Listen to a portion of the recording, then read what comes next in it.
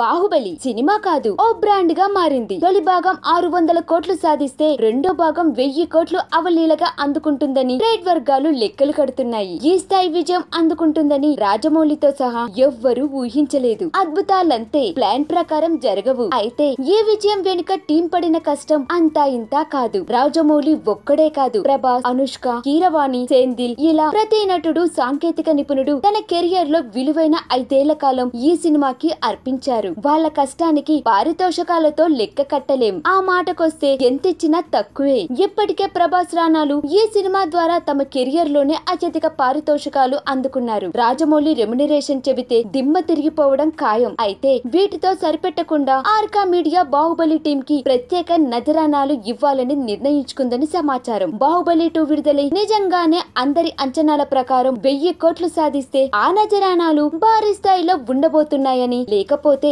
ఆకర్షణీయమైన బహుమానాలతో సరిపెడతారని తెలుస్తుంది మొత్తానికి బాహుబలి టీం కి ఊహించని గిఫ్ట్లు లభించడం ఖాయం వాటి ఖరీదు ఎంతన్నది బాహుబలి టూ తీసుకొచ్చే వసూళ్లను బట్టి ఉందన్నమాట నటీ నటులు సాంకేతిక నిపుణులకే కాదు ఈ సినిమాకి తెర వెనుక ఉండి పనిచేసిన అందరికీ ఏదో ఒక రూపంలో బహుమానం అందివ్వాలని ఆర్కా మీడియా భావిస్తుందట కష్టాన్ని గుర్తించడం ఎప్పుడు శుభ పరిమాణమే కదా